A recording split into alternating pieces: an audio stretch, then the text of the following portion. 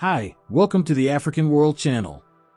In an era where security threats continually evolve, nations are compelled to adapt and fortify their defense capabilities. Burkina Faso, amidst the challenges posed by regional terrorist and insurgent groups, has embarked on a transformative journey to enhance its security posture. At the forefront of this endeavor lies the recent unveiling of the Akinci combat drone, symbolizing a pivotal milestone in Burkina Faso's defense strategy. Remember to subscribe to our channel, give the video a thumbs up, and share it with others to help us reach a wider audience. Now let's get back to the video. Burkina Faso recently made a significant stride in bolstering its defense capabilities against regional terrorist and insurgent groups with the introduction of its new long-range combat drone, the Akinci, unveiled on April 8, 2024. This unveiling ceremony, attended by the military and presided over by Captain Ibrahim Traore, head of the junta, marked a pivotal moment in Burkina Faso's defense strategy. The country showcased two Akinci drones, manufactured by the renowned Turkish defense company Baykar, as part of a larger acquisition of Turkish armaments. Alongside the Akinci drones, Burkina Faso also acquired five Bayraktar TB2 drones and a range of guided and unguided munitions, reflecting a growing reliance on Turkish military products and signaling a shift in defense partnerships. The Akinci drone, also known as the Raider, stands as a formidable addition to Burkina Faso's defense arsenal. Manufactured by Baykar, it boasts high-altitude capabilities and long endurance, making it an ideal asset for surveillance and combat operations. With a maximum takeoff weight exceeding 5.5 tons and a payload capacity of over 1,350 kilograms, the Akinci is equipped with robust turboprop engines and advanced electronic systems, ensuring its efficacy in various operational scenarios.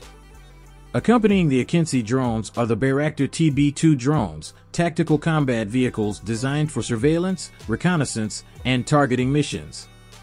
These drones, equipped with cameras, sensors, and the capability to carry air-to-ground missiles, offer Burkina Faso extended surveillance capabilities and enhanced response mechanisms against threats, particularly along its borders and in counterterrorism efforts.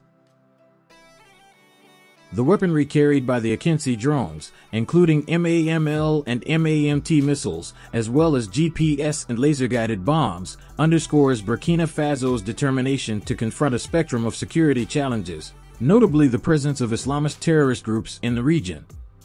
By arming itself with versatile munitions and state-of-the-art technology, Burkina Faso aims to gain a strategic advantage in its ongoing fight against terrorism, safeguarding its citizens and territory from extremist threats.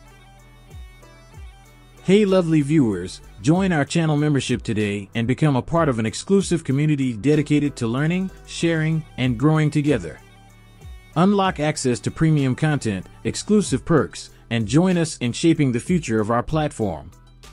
Your support enables us to continue creating high quality content and enriching experiences for everyone. Don't miss out on this opportunity to take your engagement to the next level. Now let's get back to the video. Captain Ibrahim Traore, the interim leader of Burkina Faso, played a pivotal role in facilitating the acquisition of these drones, recognizing their potential to bolster the country's defense capabilities. Traore's stance against external influences, particularly French intervention, aligns with the strategic pivot towards Turkey as a reliable partner in defense procurement, thereby diversifying Burkina Faso's alliances and reducing dependence on traditional suppliers. The unveiling of the Akinci drones comes at a critical juncture for Burkina Faso, as the country grapples with a persistent jihadist insurgency that has inflicted significant casualties and displacement since its emergence from neighboring Mali in 2015. The drone footage released earlier this year depicting an assault on the northern town of Djibo underscores the urgent need for enhanced surveillance and response measures to combat extremist threats. The utilization of drones in this context demonstrates their efficacy in providing real-time intelligence and facilitating precision strikes against terrorist elements, thereby mitigating risks to both civilian populations and military personnel. Even as the terrorists sought refuge amidst the foliage, the drone's advanced technology ensured there was no place to hide. In conclusion, Burkina Faso's investment in advanced drone technology reflects its commitment to addressing evolving security challenges and protecting its sovereignty. The partnership with Turkey not only enhances Burkina Faso's defense capabilities, but also signifies a broader shift in geopolitical dynamics, with African nations emerging as key markets for defense and aerospace exports. As Burkina Faso continues to confront security threats, the integration of drones and other advanced technologies will play a pivotal role in safeguarding peace and stability within the region. We envision a future where African countries manufacture their own military equipment, not only saving money but also fostering skill development among citizens.